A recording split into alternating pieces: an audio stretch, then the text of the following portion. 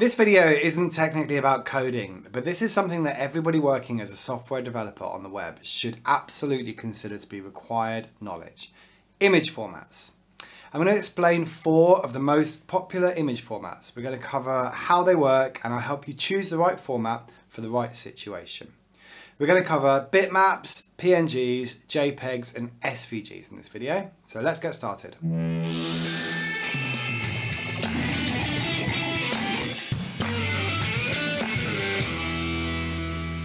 The simplest image file format is a bitmap. This is a file with a .bmp extension. In a bitmap file, you just have each pixel of the image converted into a number and stored in a file. So for an image like this, where you have a black circle on a white background, your bitmap file would just go along this row by row and say white pixel, white pixel, white pixel, black pixel, black pixel, black pixel, and so on. In fact, there's something for you to try out. If you create a very simple bitmap I'm just going to create a rectangle in the middle here and save it as a 36 by 36 pixel bitmap.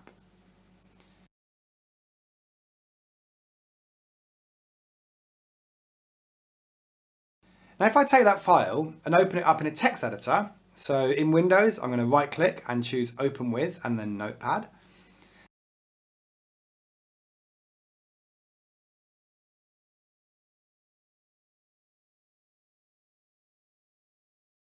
Then check this out. If I resize this to wrap around about here, then because our image is only made up of black and white pixels, you can actually see the image in the data directly. Um, and this is because each pixel has been mapped inside the file like this. So bitmaps, the simplest way to save image data in a file. But they aren't super popular because although a bitmap um, has this one advantage of simplicity, in almost every other area, a bitmap falls short. Storing individual pixels like this isn't particularly efficient. And if you have a larger image, then the file size of a bitmap can get uh, incredibly big. And this makes it less than ideal for sending over the internet. Here's a table of the pros and cons of bitmaps. Okay, next we're going to look at a couple of file formats that solve this file size problem by compressing down the image data into a smaller file. First, let's look at the file format that we use for photos, and that's JPEG. JPEGs were invented in the 1980s as a way to compress image data into smaller file formats. JPEG stands for Joint Photographic Experts Group, which was the name of the group of people that created it. And the name really hints at what we use JPEGs for, and that is for photographic images, for photos, basically. So unlike that image of the circle that we showed earlier on, photographs don't have these very clearly defined boundaries between black and white or between one colour and another. If you had a photo of a black circle on a white background, it would look more like, uh, it would have um, gradients around the outside and it wouldn't be this perfect one pixel, one pixel line. So there's a lot more subtlety going along and there's a lot more gradients. JPEG files are all about compressing this kind of image in the most efficient way possible. And they do that with some really clever maths that we're not going to go into in this video, but basically a JPEG is good at um, encoding gradients like this between one colour and another colour because that's typically what you'd find in a photo. The reduction in file size for JPEGs can be enormous compared to a bitmap, and that's why .jpeg file format has been so successful. It works very well on web browsers because you can send a photo over the web to a browser in a much, much quicker time than with other formats like bitmap, and so that makes JPEGs ideal for websites. Like with anything though, there are some trade-offs when using JPEGs. The trade-off for having a small file size for photo is that JPEG is what's called a lossy compression format. And that means that by saving your image as a JPEG, you actually lose some of the detail. So a JPEG image will have less detail than a bitmap or another lossless file format. It also suffers from JPEG, uh, JPEG artifacts if you try to save something with sharp color changes. So you might have been, uh, you might have seen this kind of pattern before on text that was saved as a JPEG. Well, this happens when the image, there is a sharp change from one color to another, and that gets saved as a JPEG. So, for example, the lines in text have this sharp color change. Because JPEGs are all about gradients and slow changes between colors, it doesn't really know how to save this kind of high contrast, so the image looks a bit messed up. And that's the big downside to JPEGs. You can't or you shouldn't use them to save images that need sharp lines. So if you're saving text or if you're saving drawings, then a JPEG is not really a good choice. But for photographs, JPEGs are awesome. Okay, what if you want to save an image with fine lines in it, like some text? Well, that's when we come on to our third image format, and that's the PNG. PNG stands for Portable Network Graphics, and it really just acts as the counterpoint to the JPEG. PNGs also compress image data, but whereas JPEGs excel at compressing gradients between colours, PNGs are designed to compress stark contrasts, and they're actually very bad at gradients. A PNG works like this. Instead of saving the individual pixel, pixels like a JPEG, a PNG file is a bit more smart about how those pixels relate to the ones next to each other.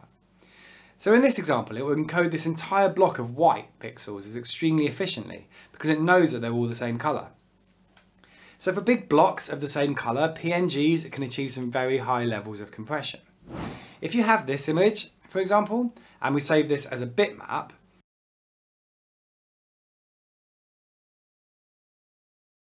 and then also save it as a PNG,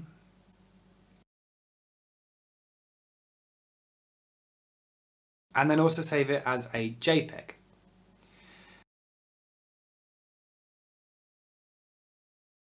Now when we look at the file sizes of these three files, you can see that the PNG is much, much smaller. And that's because our original image had these big blocks of colour in it. What the PNG file was able to do was really, really efficiently encode these blocks of colour. So if we do the same thing but for a photograph,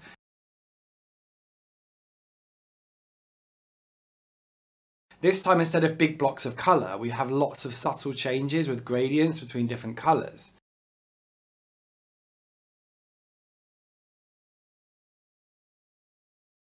well then you can see that the PNG isn't much different to a bitmap, but in this case the JPEG file is much smaller.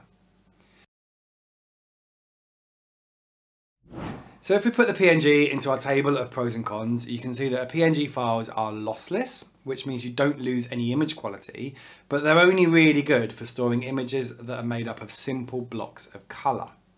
So to summarise these two, because PNGs and JPEGs are the two image formats that you're most likely to encounter on the web, you can see uh, both of these file formats have their uses. And the trick is really to decide which of these formats to use in each case. Okay, lastly we're going to look at an image format that is totally different from the other three, and that's the SVG. SVG is a vector file, and it stands for Scalable Vector Graphics. A vector file is a totally different way of saving image data that doesn't use pixels at all, but instead it stores the instructions of how to draw an image. And those instructions are passed in, in our case, to a web browser like Chrome. And the web browser draws the image on our website based on the instructions. Let's have a look at how this works. If you remember the original image we had of a black circle on a white background, well, all our other image formats were concerned with taking the pixel values of each of these image pixels, um, you know, white, white, white, and black, black, black, and then finding clever ways to compress those pixels to make the file format smaller. Well, vector files, like SVG, they don't care about the pixels. An SVG file just says, create a white box and then draw a black circle. And there's a couple of things that make that a thing that you want to do. Firstly, that's that word scalable. If our file just says create a white box and then draw a black circle, then we can easily adjust that to change how big this image should be. So we could say draw a small circle of 50 pixels high, or we could draw a large circle, 500 pixels high, and both of these images will be the highest level of detail. It doesn't matter how big your SVG is rendered um, in something like a web browser, it will always be shown with the highest level of detail possible. SVG also lets you do something else cool, and that's a bit of animation. Because of an SVG file is just a set of instructions that you give a web browser, then that opens up the possibility of interacting with the SVG using JavaScript. These days, you can actually embed the SVG file data inside of an HTML node on your web page, and you can modify it with JavaScript and with CSS. So you could draw a circle like this, and then you could write some JavaScript that sets a timeout and then changes the size of the circle like this. Here I've just put a CSS transition property onto the size to create a nice animation. SVG animation inside a browser is still relatively new, and so this is definitely an emerging area of development, but it's a good way to combine your design skills with your coding skills and interact with your image data in a much smarter way than simply loading some pixels onto the screen. And there we have it. Here are the advantages and disadvantages of SVG files over the other image formats. So just like with the PNG, SVG files are really not suitable for photographs. But for text and for screenshots and for basic drawings and things, if you can create the file as an SVG, then it unlocks some really cool stuff. And it also keeps the file size down to decent levels as well. Here is that simple image that we saw earlier saved as an SVG. And you can see that the size is small. It's comparable to the PNG that we saved earlier on. Right, that's the four most important image file formats you'll need to know about. I've included the bitmap at the start, but this is mainly just to give you some context. You probably won't actually be using bitmaps in your day-to-day -day life as a software engineer. PNGs, JPEGs and SVGs you will definitely be using though. As always, thank you for checking out my channel. Subscribe to Train to Code and please leave any comments or questions below and I will get back to you as soon as I can.